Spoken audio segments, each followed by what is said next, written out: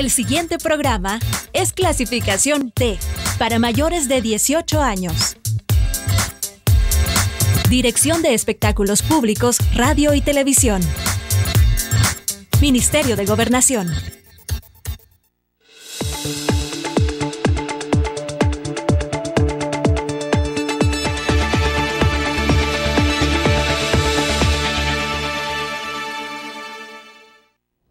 Reciban un cordial saludo de temas y debates con Ricardo Sosa. En esta oportunidad ponemos en la mira el tema del sistema de pensiones en El Salvador y la alternativa o alternativas de solución para este problema que se ha convertido en una preocupación y debería de ser una, un tema de seguridad nacional y de interés del Estado salvadoreño. Para eso hemos invitado a un experto, a un conocedor en la materia, el maestro Mauricio Chavarría, quien es un economista, un actuario, es un profesional, eh, un maestrante en temas de finanzas económicos y por supuesto tiene un posgrado en seguridad nacional del Colegio de Altos Estudios Estratégicos y más competencias en esta formación económica. Mauricio, gracias por aceptar mi invitación. Bienvenido al programa. Eh, bueno, muy buenas tardes.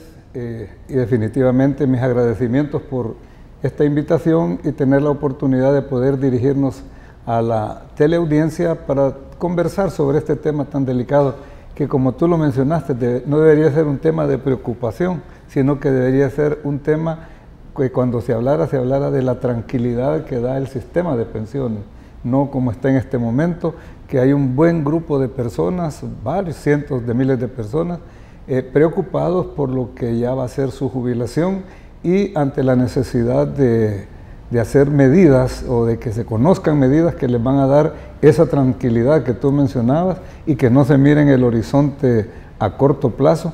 Eh, realmente creo que bien vale la pena que conversemos para informar a la población, eh, dar a conocer algunos aspectos y a lo mejor de, de la conversación sale alguna alternativa de solución, algún planteamiento que pueda ser útil para que los tomadores de decisiones pues realmente tomen en cuenta, ya que esto ha creado ya un clamor popular. De hecho, eh, hay varios movimientos eh, de trabajadores eh, y también movimientos sociales que al igual que en Chile se están preocupando porque las pensiones que ofrecieron con la reforma de pensiones en el año 96-98 realmente no cubrió ni cumplió las expectativas que le dijeron que iban a tener a esta fecha los futuros pensionados, ahora los preocupados actualmente. Mauricio, ¿cómo se origina todo este eh, embrollo, esta situación que algunos no todavía logramos comprender? Algunos tenemos indiferencia en el Estado salvadoreño a este tema. Estamos tratando de generar recursos, de lograr nuestra formación, de lograr desarrollar la mayor cantidad de ingresos y muy pocas ocasiones podemos pensar en el retiro, en la jubilación y este tema parece que tiene mucha indiferencia en gran sector de la población. Parece que solo le afecta al que está llegando a los 60 años o supera esta edad o le faltan dos años para el retiro y comienza a recopilar una serie de información. ¿Cómo estaba el sistema antes del 98? Bueno, eh, es bueno que informemos a la población, hay algunas personas ya mayores de edad como su servidor, que sabemos de que hasta la creación del Seguro Social, allá por 1969, eh, las clases pasivas, así se denominaba el compromiso económico que tenía el Estado con algunos servidores públicos como carteros, eh, militares, enfermeras, profesoras, eh, todo eso era lo que entraba en una partida del Ministerio de Hacienda como clases pasivas. Efectivamente, ese era en aquel momento lo que se puede llamar un sistema de reparto puro, es decir, la carga de las obligaciones se ponía en el presupuesto y a través de los impuestos se pagaban esos compromisos. Ya en 1969 se habla del sistema de, de pensiones de invalidez, vejez y muerte y en el Seguro Social comienza a funcionar en el año 69 y luego el INPEP en el año 75. Con esas dos instituciones se trató de crear un sistema que permitiera liberar al Estado de aquel compromiso para no dedicar los impuestos a eso, sino que surgiera el financiamiento de las propias contribuciones de los trabajadores y los aportes patronales, más una pequeña eh, ayuda del Estado como subsidiario a lo que hiciera falta para poder cumplir en esas instituciones con los compromisos. En el Seguro Social se aplicó lo que se llama, eh, ese es lo que es la génesis de las instituciones de previsión social hasta 1996-98 que se hace la reforma. La administración era, eh, la del INPEP evidentemente era pública, la administración del Seguro Social a través de su consejo no era totalmente público, sino que había representación patronal, había representantes de las carteras de Estado, que por, por, la naturaleza de los gobiernos de esa época provenían precisamente de la empresa privada. ¿verdad? Entonces nace el Seguro Social con un sistema financiero, ya hablamos de la administración, hoy vamos al sistema financiero por medio del cual se iban a cubrir esos compromisos. Se establecen compromisos a través de fijar ciertos porcentajes de, los tres últimos sueldos como parte, como pensión. Y para financiar eso se hablaba de lo que se llaman primas escalonadas, que significa lo siguiente.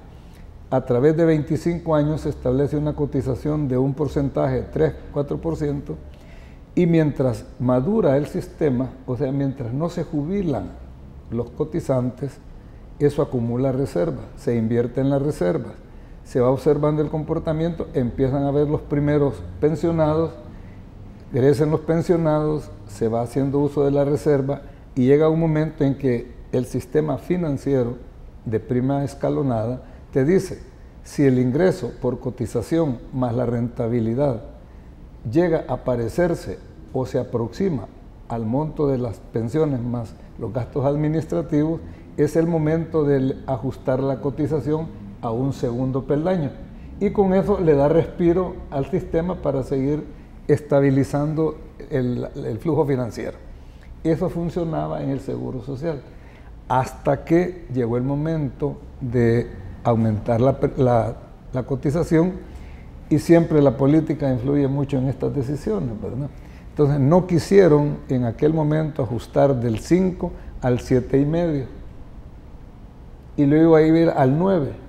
En aquel momento hablar del 9% de cotización al Seguro Social sonaba, eh, no sé, como expropiación, como abuso, no sé, de parte del Estado.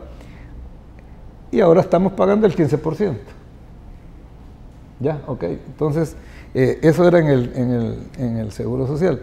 Y en el INPEP eran otros tipos de cotización y voy a hacer una gran diferencia para que comprendamos la problemática, Ricardo.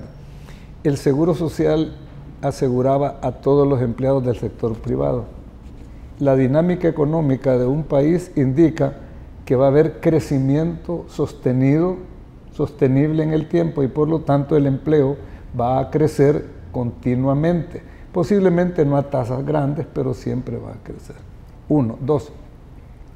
En el INPEP, no. En el INPEP es un grupo cerrado porque el empleo público no puede crecer ilimitadamente. Y eso sí ponía un freno a la relación de los pasivos con respecto a los cotizantes activos. Porque entonces eh, no puedes crecer tanto, entonces el peso iba a ser mayor. Así era el esquema que había para responderte antes de antes del 98 y del, 69 y 75 al año 96-98. De esa reflexión histórica del, del, antes y el después, ¿continúan esas mismas premisas de 1998 en pleno 2020, Mauricio? Bueno, eh, te respondo, la crítica, o más no crítica, dijéramos los argumentos que había en aquel momento para hacer la reforma de pensiones y pasar de aquel sistema de capitalización colectiva a través de la prima escalonada a un sistema de capitalización individual con cuota definida, se hablaba de lo siguiente. Uno, que la cobertura del seguro era muy baja, que no, no lograban subir del 20-22% en relación a la población económicamente activa. Esa era una de las críticas que había. Dos, que las pensiones eran bajas. Era el otro argumento que había con el Seguro Social. Luego se señalaba que habían eh, mucha carga administrativa, ineficiencia administrativa le llamaban. Luego que los rendimientos de las inversiones eran bajos y a veces hasta negativos. Y finalmente eh, una falta de protección de las pensiones contra la inflación. Si nosotros llegamos al año 98, prácticamente con excepción del problema de la inflación, porque la dolarización amortigua un poco ese fenómeno, el resto de, el resto de observaciones, llamémosle, no críticas, de observaciones al sistema anterior se mantiene. De hecho, lo que ha sido el detonante en los últimos días acá en el país es que las pensiones del sistema de capitalización individual, de cuenta individual, con cotización definida, no llegan ni al 32% del último salario que estaba devengando la persona que está ya en edad de jubilarse. Y eso ha creado inconformidad, desagrado, eh, malestar. Eh, y dijéramos, eh, según lo he escuchado yo de algunas personas, la verdad que enferma a la persona que ganando 900 dólares llega a, gestionar su pensión y le dicen, sí, bueno, su, su, pensión va a ser 210, 230 dólares. La gente realmente dice, ¿y aquí qué pasó? Y entonces quizás esa es la pregunta con la cual debemos de enfocar eh, lo que viene. ¿Y aquí qué pasó? ¿Qué, es lo, ¿Qué, es lo, que falló acá? ¿Qué es lo, y luego, ¿qué se puede hacer también? ¿verdad? Mauricio, eh, debo de entender que no todos los grupos o segmentos poblacionales de pensionados se encuentran en las mismas condiciones. ¿Hay algún sector o segmento que se encuentre bien? Bueno, te comento. El sistema tiene dos grandes componentes. El público, que son los antiguos cotizantes y pensionados que decidieron quedarse afiliados al seguro o al INPEP. Ellos no tienen problema. Sus pensiones se calculan tal cual estaba en la ley del seguro y del INPEP.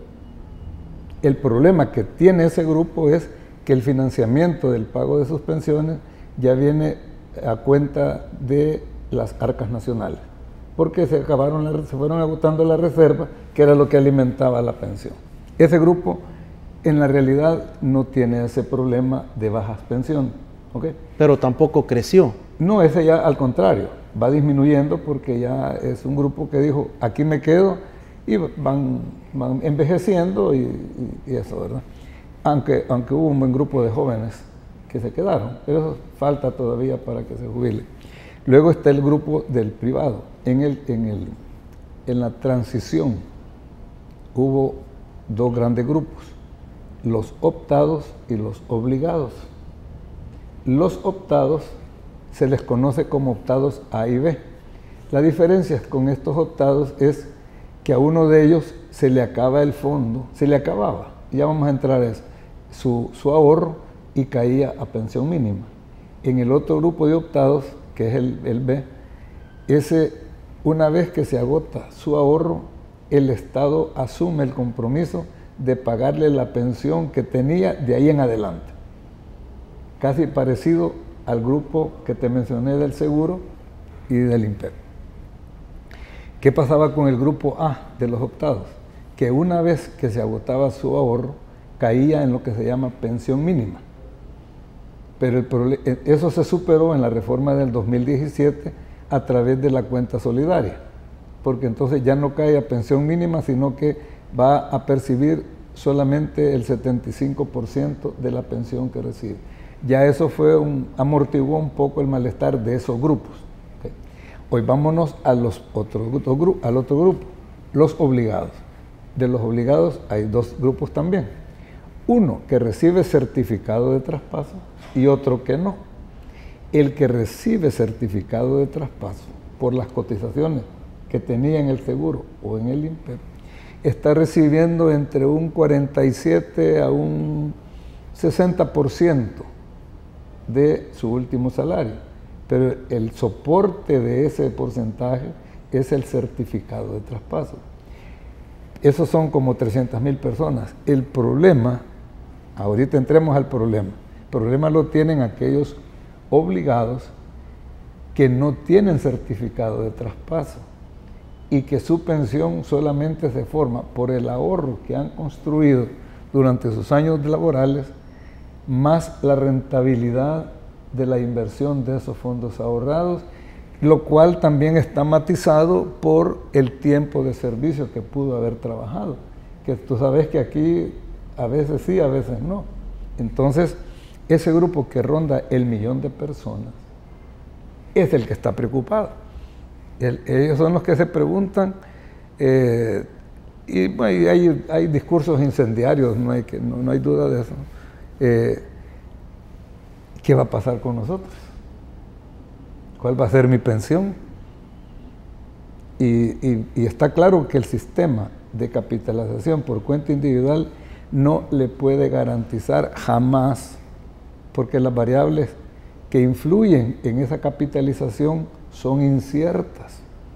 ¿Cuántos años vas a trabajar? ¿Cuáles serán tus sueldos?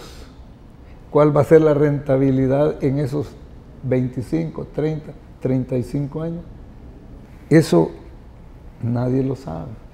Por lo tanto, tu ahorro, ¿cuál va a ser? No lo sabes tampoco.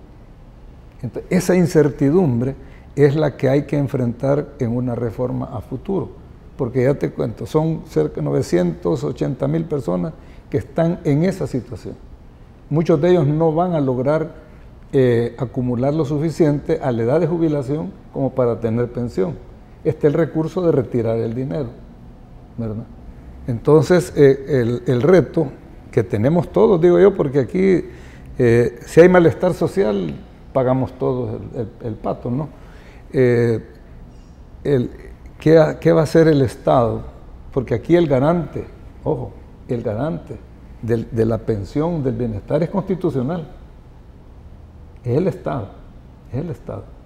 Entonces, eh, tiene que hacerse los esfuerzos, los análisis y tomar las decisiones adecuadas para que un millón de personas caigan en lo que tú dijiste cuando introduciste el, tema, que tengan la tranquilidad de que cuando hablen de su pensión se sientan cómodos con saber de que su vejez no va a ser una vejez con preocupaciones, sino que con tranquilidad.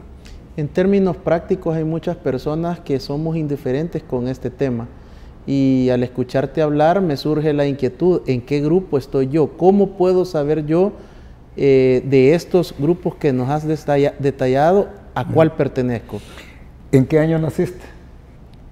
El, año de nacimiento es uno de los, de los, parámetros. es uno de los factores. ¿En qué año naciste? Eh, 1970.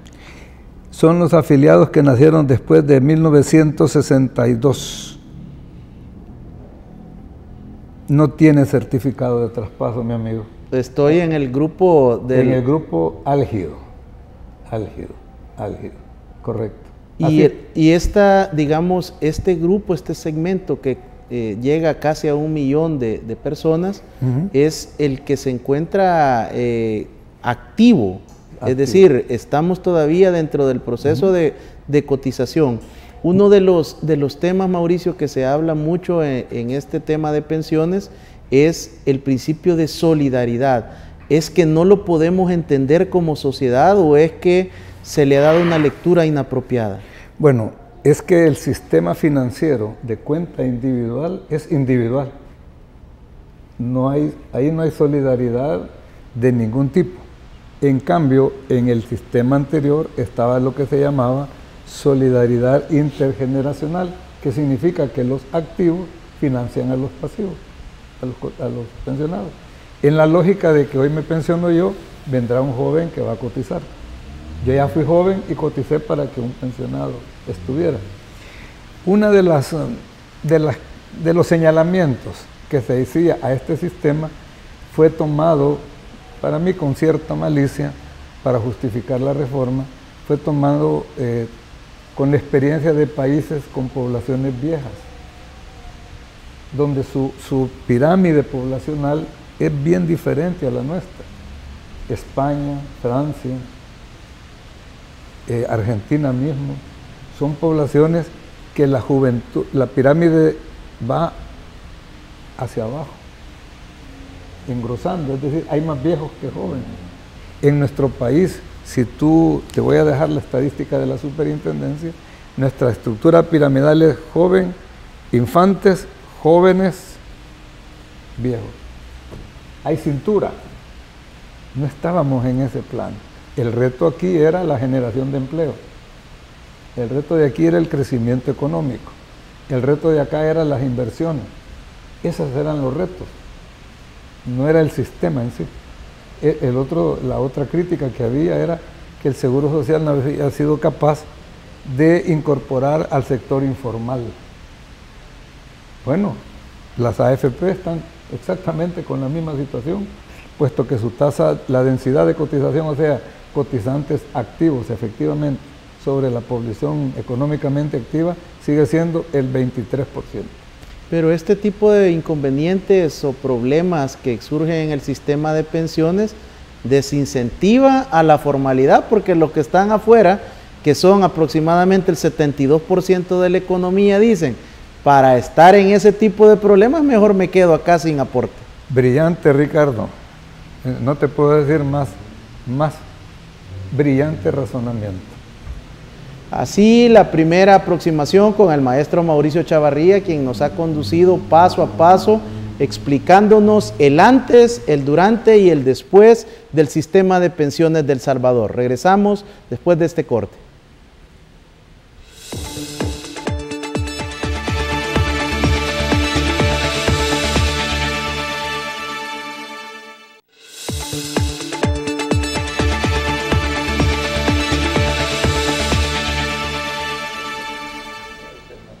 El sistema de pensiones en El Salvador y su alternativa o posible alternativa de solución es el tema en la mira en esta oportunidad en temas y debates.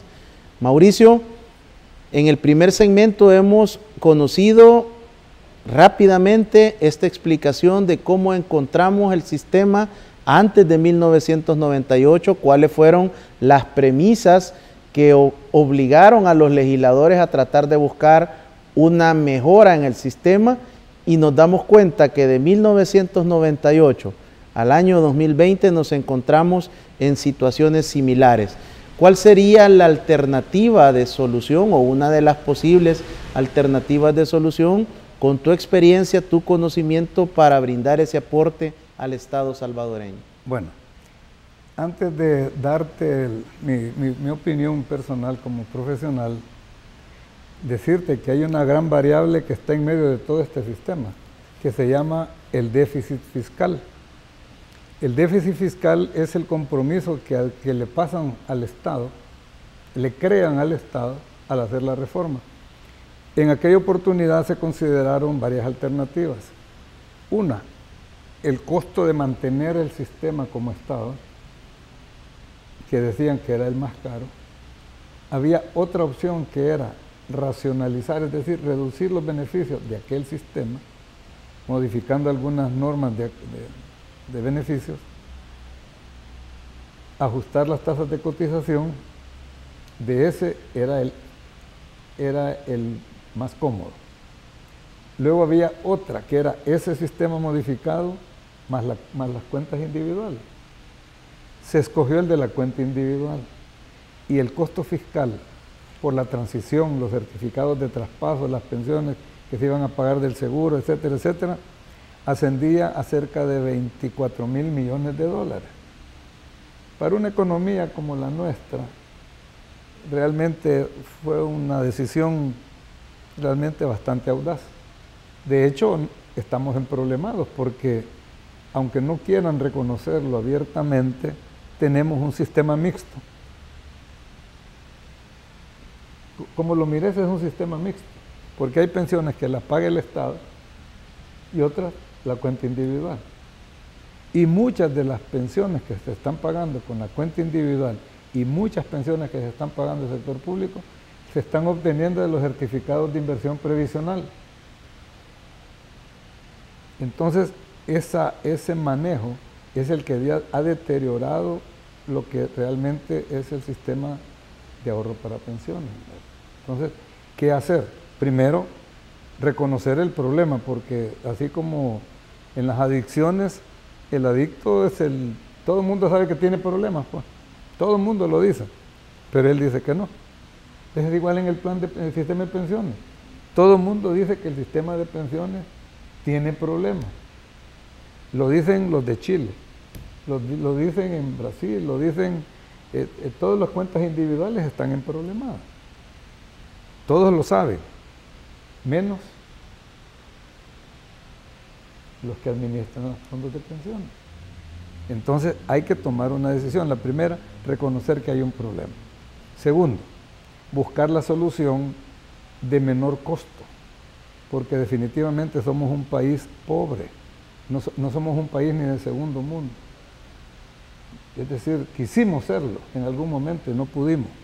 Entonces tenemos que reflexionar en cuál es la reforma que más se adecua a esta economía, a este sistema de trabajo, con el agravante que tú mencionaste al finalizar la primera parte.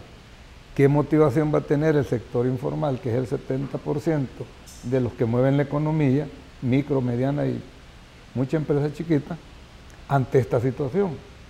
No, no, no pues, o sea, e, esa es parte de la realidad que hay que ver pues, para tocar el sistema. Entonces, eh, yo creo que lo que funcionaría acá, además de la sinceración de lo que tenemos, es el sistema mixto, es un sistema mixto, pero no tocando la administración, puede ser pública o privada. Yo no estoy, yo nunca he satanizado ni al Estado ni a la empresa privada. Mi mente no me da para ver que el Estado es totalmente malo, ineficiente, lleno de pícaros, ladrones y malvados. No me da la cabeza para... Sé que hay malos funcionarios, pero para eso están las instituciones, para quitarlos. ¿no? Tampoco puedo decir de que la empresa privada es totalmente eficiente, eficaz, que tampoco. Pero sí saben administrar recursos. Son dos cosas importantes. Entonces, la administración puede ser compartida. En segundo lugar, debe haber una afiliación congruente con los principios republicanos que decimos tener en el país. Uno de ellos, las libertades individuales. ¿Sí o no? asociación, tránsito, eh, eh, ¿cómo se llama? Prensa. Entonces, ¿por qué obligar? ¿Por qué obligar a que te afilies a X o Y? Sino que dejar, o sea, obligatorio que se afilie. Obligatorio que se afilie. Pero no necesariamente solo al, a la AFP o solo a un instituto público. No, no. Ahí va, ahí va la vocación individual de cada quien, a quien le creo yo que va a administrar mejor los recursos. Si yo creo que es el Estado, pues me voy a afiliar a un instituto público. Si yo creo que es la AFP es la que satisface mis, mis expectativas, mis creencias, mi forma de ser, pues me afilio a una AFP. ¿Por qué no? Porque independientemente del monto del salario que gane, porque uno de los problemas que tuvo la propuesta en aquel 17, 16, 17, como la que anda por ahí ahora, es que ponen como límite para el público dos salarios mínimos. En este país donde te puedo enseñar, y aquí te lo voy a, te lo voy a enseñar, donde el 78% de la población gana menos de 500 dólares. Ponerle esa limitación, esa limitación para afiliarse o condicionante, obligatoria, para irse al instituto público, es como querer agarrarlo todo, pues. E, e, ese sesgo malicioso echó al traste una propuesta que pudo haber sido buena.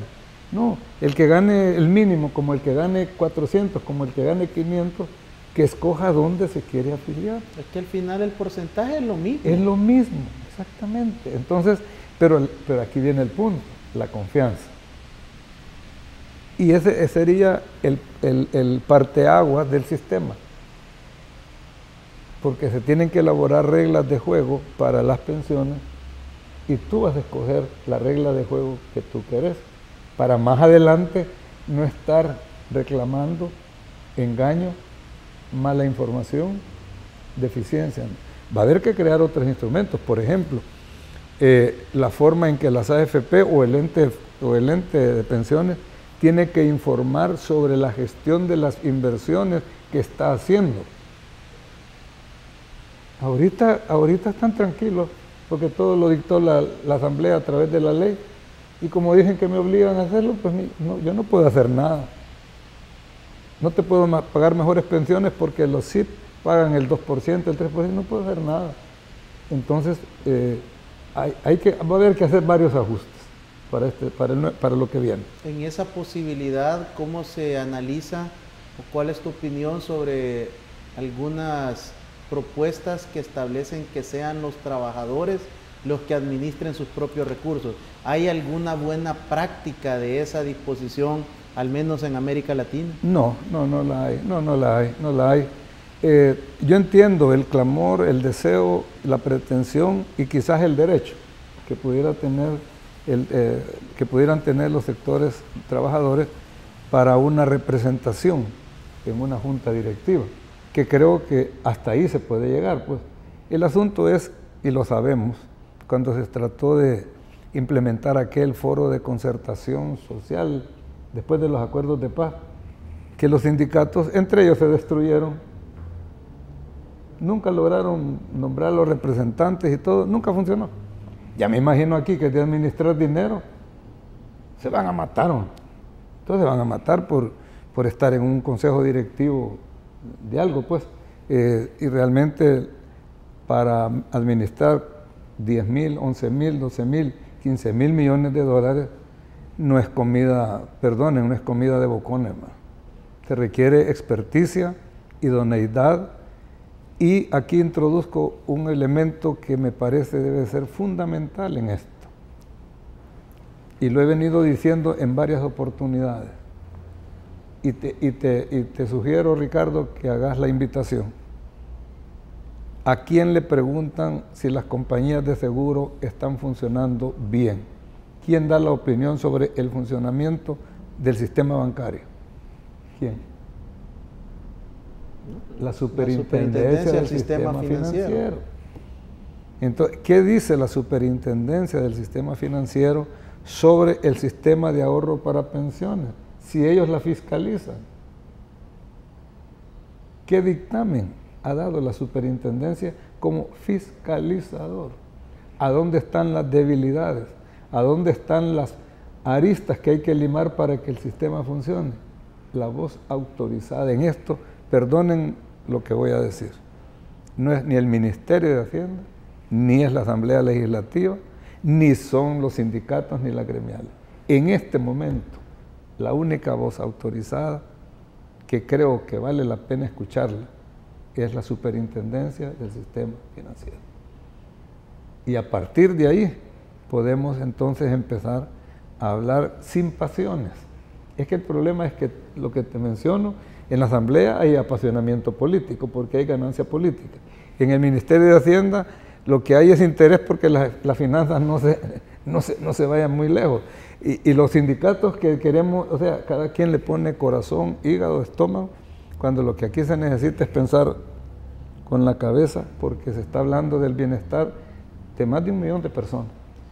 También se ha escuchado dentro de las posibles alternativas una figura de un banco de los trabajadores o un, fondo administrado que le pertenezca a los trabajadores para que en teoría de ese mismo capital, de esos intereses, de esas posibles inversiones que se puedan hacer con los recursos, hacer más rentable la pensión. Bueno, la figura administrativa puede ser, como te dije, eh, un instituto público, una AFP, y modificar la ley, o sea que la ley de ahorro para pensiones pueda contemplar la posibilidad de que un banco debidamente organizado ofrezca como uno de sus productos el sistema de ahorro para pensiones. Eso no, no necesariamente tiene que ser eh, crear un banco de trabajadores para pensiones. Esa es cuestión de la legislación y de los mecanismos de autorización, control y seguimiento que le den al, al programa.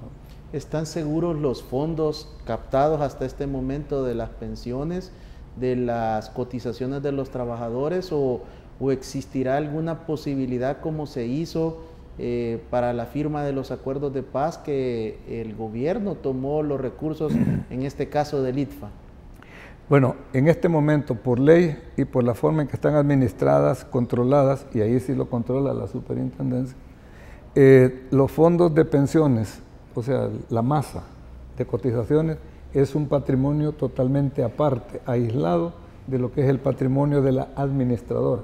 Se manejan en contabilidades diferentes.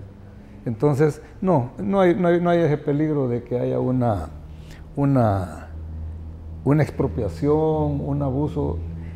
Ojo, eso es lo que está en la ley. Pero si en la Asamblea Legislativa deciden que los fondos de pensión inviertan el 100% en bonos del Estado,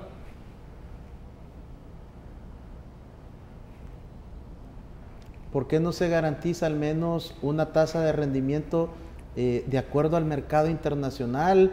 Eh, hemos observado y conocido algunas experiencias como lo que se pagó de, los inversionistas en, el canal de Panamá, cerca. A, fondos nuestros. A, fondos, nuestros. Claro.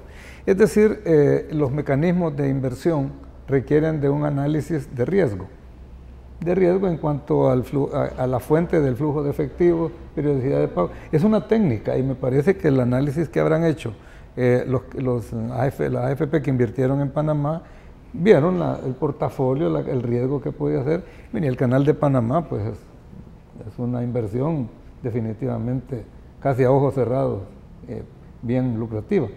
Ahora, nunca hay que, pretender eh, rentabilidades en el largo plazo arriba del 6%. Eso, eso no existe, eso no existe. Eh, hay mercados que hoy te pagan el 12, a los dos años te pagan el 3 y así van fluctuando. Tal manera que he visto los estudios de Melinsky y de Farrell, después de verlos, ya como técnicos ellos, están descontando todo al 4%, porque es de la tasa media en 50, 60 años, es la tasa media, 4%. Así la opinión y la recomendación al Estado salvadoreño del maestro Mauricio Chavarría, experto en economía y actuario. Creo que es una importante sugerencia y planteamiento para buscar posibles alternativas de solución. Al regresar, conoceremos cuál es el modelo salvadoreño. ¿Tenemos un modelo propio de pensiones o hemos copiado e imitado el modelo de otra nación? Gracias. Regresamos.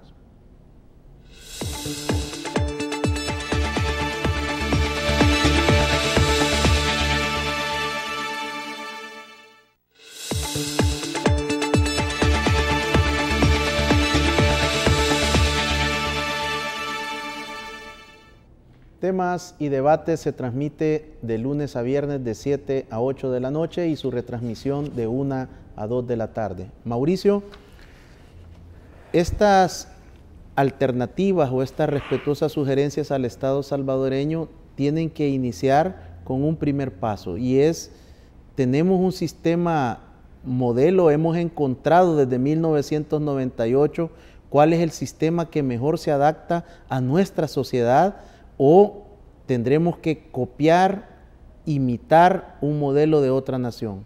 Bueno, quizás te diría Dios me guarde, ¿verdad? Porque eh, en los últimos meses del 2019 vimos el, el caos social que se dio en Chile.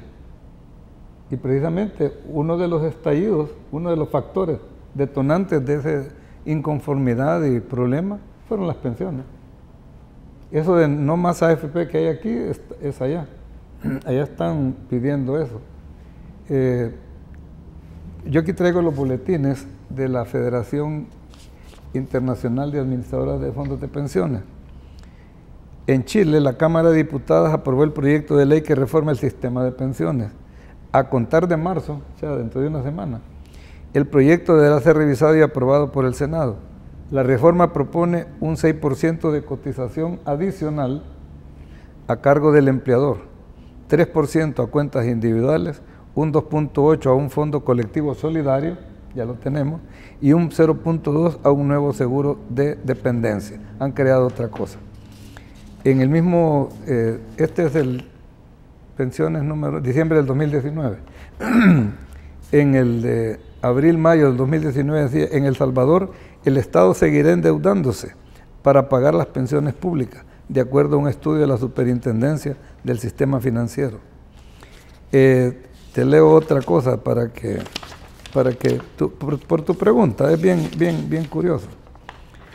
En la cuarta convención nacional eh, celebrada en México, Mariano Bosch plantea algunas estrategias para mejorar los sistemas de pensiones. Estamos hablando de las cuentas individuales, ahorro para pensiones. Uno, definir claramente el objetivo de la pensión en términos de tasa de reemplazo con el fin de informar a los trabajadores si están cerca o lejos de alcanzar el objetivo en cuestión.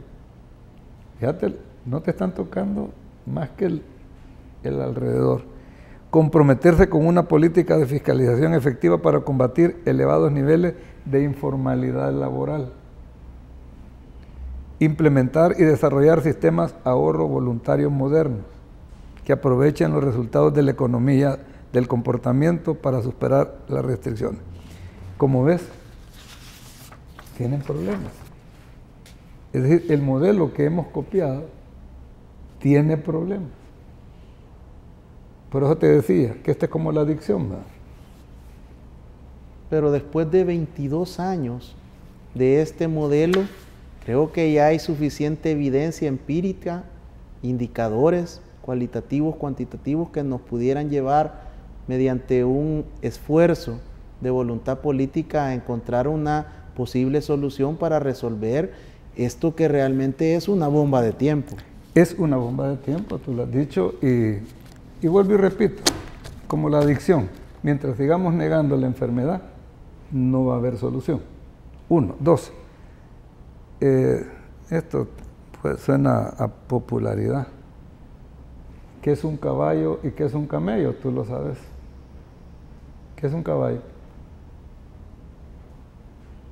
es, un, animal corredor eh, con, muchas características diferentes. Dicen que el caballo lo hizo una persona. Por eso lo hizo Perfecto. elegante, brioso, bello que es el camello. Bueno, eh, tal vez no es tan estético. Lo, hicieron en una comisión. Entonces hubo uno que dijo, para que camine bastante, las patas tienen que ser largas. Mira, pero y la sed, ah, pues pongámosle joroba. Y, pues, y, démosle una panza, total, una comisión se encargó de hacer el camello. Una persona hizo el caballo. Estamos. Por supuesto que esto, eh, una de las propuestas y alternativas es empoderar y darle su lugar al sistema eh, de la superintendencia para que emita recomendaciones técnicas. Ahí deben de existir ahí va a salir un expertos, ahí deben de estar personas con maestría, con posgrados en este tema de actuación que le permitan a los tomadores de decisiones tener mayores insumos. No ponerle muchas jorobas al caballo. Correcto. Tú, tú llegaste al punto con el que yo prácticamente eh, quería ir concluyendo la, la plática, y es que tenemos quien nos pueda plantear un buen diseño. Tienen actuarios, tienen expertos financieros, ¿para qué ir a buscar que nos hagan un camello? No hay conflicto de intereses en la superintendencia. No, no. Es una entidad técnica. Es una entidad, te lo digo, yo, yo trabajé ahí 20 años, eminentemente técnico, es una escuela de, de tecnicismo financiero, legal y económico, muy bueno. Es los tomadores de decisiones quienes han hecho a un lado a la superintendencia o ellos mismos han permitido que no se les considere. Eh, tuve la oportunidad de abordar a uno de estos señores superintendentes cuando la batuta la había agarrado el Ministerio de Hacienda. Porque motivo, ahí hay interés en que esta cosa. Y digo, bueno, ¿y cuando somos conocidos, más que amigos conocidos? Le digo, mira, fulano, ¿cuándo vas a decir esta boca es mía si yo soy el... No, me dijo este, Hacienda es el que está tomando las cosas. Y la verdad que aquí no se trata ni de ganar votos, ni de cuidar el dinero de los contribuyentes. Se trata de tener en la mente que hay salvadoreños que están viendo que su problemática de pensiones está difícil y que el Estado tiene y debe velar porque la seguridad eh, llegue a esta población. En una reforma integral, ¿solo va a buscar aliviar o mejorar la condición de este casi millón de personas o también lograrían algunos beneficios los pensionados? Bueno, eh, en primer lugar, los pensionados del sector público ya dijimos que no tienen problema. Los optados tampoco tienen problema. Los obligados a tampoco tienen ese problema. Sí, sí, que yo por eso yo, no me pierdo en, el juego de manos del parque, ¿verdad? No, no. Quienes tienen problemas y van a tener problemas son los que ya vienen obligados sin certificado y los que están entrando al mercado laboral y que se van a pensionar a futuro. Para ellos es la reforma. ¿Cuál es el sistema que más le conviene? Comparando otros sistemas en América Latina o en el mundo, ¿qué modelo pudiéramos tener como buena práctica y que pudiéramos tomar como, como un sistema al cual poder replicar y tratar de emular aquellas situaciones que han sido de beneficio a la población? Te voy a, como a mí me gusta hacer un poco de ejemplos. ¿Por qué no te compras un, un Mercedes-Benz 320, Ricardo? Es bonito, es cómodo, vas a buena velocidad, te vas a sentir seguro. La cuota son 2.200 dólares mensuales, pero es bonito el carro. ¿Por qué no lo compras? No tengo capacidad. No, no seas acomplejado, Ricardo. Tú puedes tener un carro de eso. Mira, ¿a qué lo tiene? ¿Por qué no podemos? Pues sí, voy a hacer el esfuerzo. Y a los tres meses no hay pago de luz, de energía, etcétera, etcétera. Es decir, ¿qué modelo podemos? Tenemos que reflexionar si aquí tenemos profesionales buenos me atrevo a dar algún nombre, por ejemplo, Mauricio Chusí, es pues una, persona de mucho respeto. Eh, y así como él hay otros, otras personas que perfectamente se puede poner a decir, miren señores, hablemos en serio, pues. hemos comprado un Mercedes-Benz que no podemos mantenerlo. mejor un Picachito 2000 de, de, vamos pues, pero, Diseñado y planificado por salvadoreños y salvadoreños. Para los salvadoreños, hombre, si eso no es cuestión de esto no es, eh, no es una cosa tan difícil.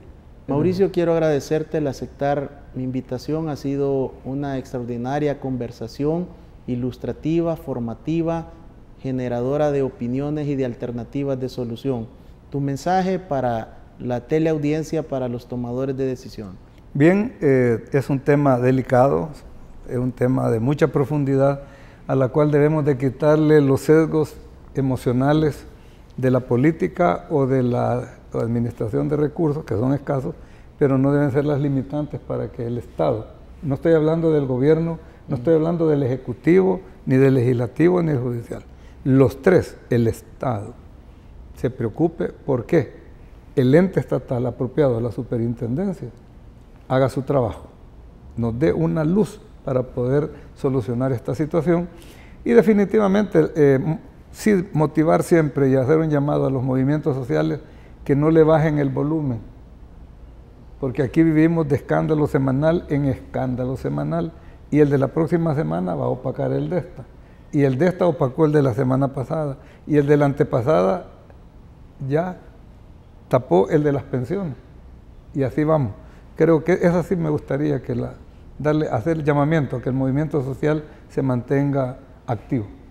Así la opinión, las sugerencias y las recomendaciones de Mauricio Chavarría, economista, actuario, un experto en este tema y considero que su propuesta, su cierre en esta charla es importante. Tenemos que todos y todas velar y aportar para una posible solución para un sistema de pensiones salvadoreño que se adapte a nuestras necesidades. Muchas gracias.